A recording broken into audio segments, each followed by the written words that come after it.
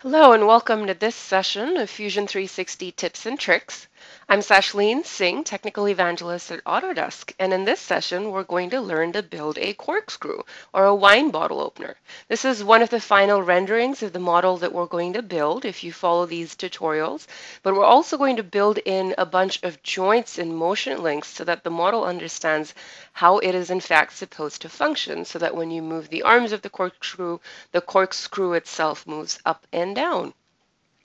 So with that, let's get started. In the next five or so minutes, we're going to build the black housing around the corkscrew. The first thing I did is Google the word corkscrew to get some inspiration. And there's obviously a lot of different types of wine bottle openers.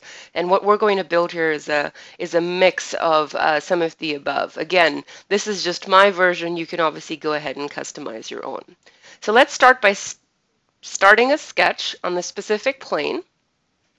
And we're going to go ahead and build the profile of the outer hub, the black part that you saw in the rendering that I showed before. So we're going to build a profile that we're going to revolve to get that basic black central hub uh, off the corkscrew. Again, something to note is the dimensions that I'm entering as we go along. Feel free to pause the video uh, to catch up if you need to. Again, these are something that I've used the caliper to measure on one of the corkscrews at home, but I'm sure you can be just a little bit liberal um, and not extremely accurate if you wanted to. One final sketch fillet there. And then what we're going to do is um, let's place a couple of fillets here as well. So about 0.1 inches there, and another one about half that size, 0.05 inches right there. So we want our edges to be mostly rounded. Now since this is a closed sketch loop, the next thing we're going to do is we're going to use the offset command and build a second profile just a little bit inside, so 0.05 inches in profile.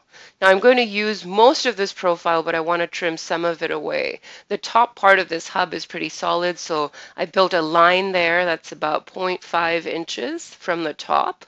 And I want to get rid of all the offset sketch above that line. So I'm going to quickly go ahead and I'm using the trim command here to take off um, those lines and also some of the offset sketch below that line. And finally close off that offset sketch so that it meets the original one. And there's a, uh, there's the closed profile that we can now revolve. So let's use the revolve tool and go ahead and revolve exactly that profile. About the central axis, again, you can use the sketch geometry to revolve it about to to specify the axis, take a look at what that final preview will look like and go ahead and hit OK. Excellent. The next thing we're going to do is cut away some of this material. In order to do that, we want to identify the sketch plane perpendicular to that plane, or perpendicular to the plane that we drew the original sketch on. So make sure you've selected that plane. And this, this one is simple. We're going to go ahead and create two rectangles. Just note where the rectangles in fact start, so we're cutting away material accurately. And go ahead and build a rectangle. Now what I could do is build two rectangles of similar dimensions, but what I'm going to do is demonstrate the mirror command here. So in order to do that, I'm going to project the y-axis from the origin, and I'm going to use that as my mirror line on the sketch. And once I've done that, I can go ahead and build a second rectangle just using the mirror command. So select the geometry you want to mirror, select the mirror line. This would be the projected y-axis, and you get your updated second rectangle in the sketch. Excellent.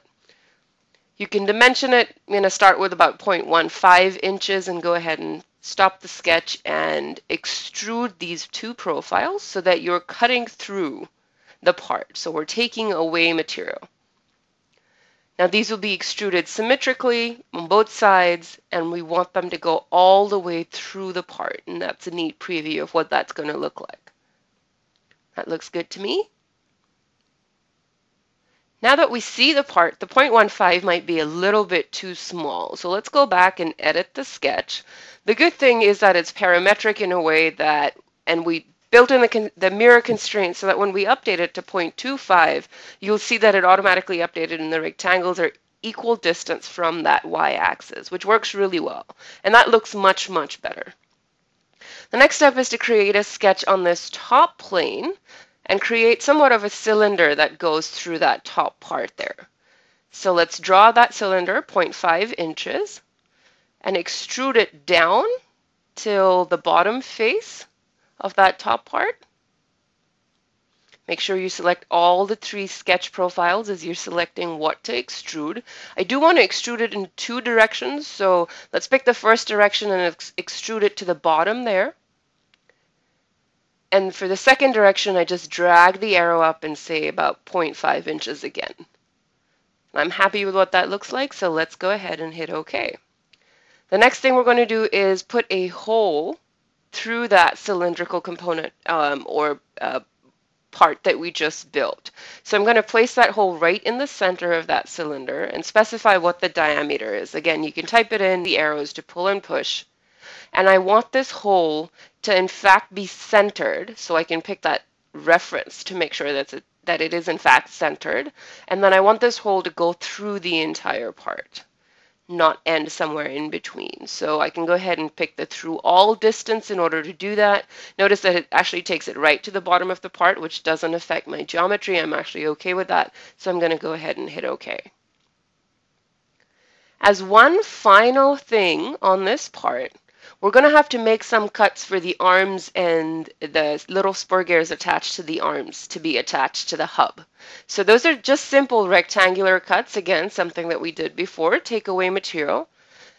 So I'm going to build a rectangle on the same plane that I built the previous two rectangles uh, to cut away. So this is a new sketch, build a rectangle, and give it a width dimension about 0.15, because I know the spur gear later will be about 0.1.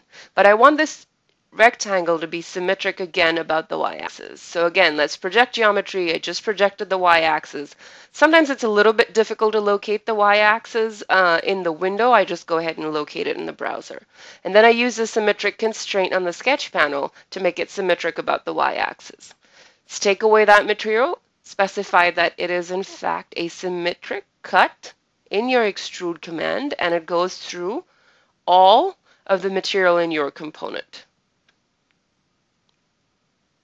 And that's pretty much it. That's the first part of the corkscrew we're going to build. Go ahead and watch the next video to see how we're actually going to use the Fusion API to build in a spur gear in that arm or those two arms for the corkscrew. Thanks for watching.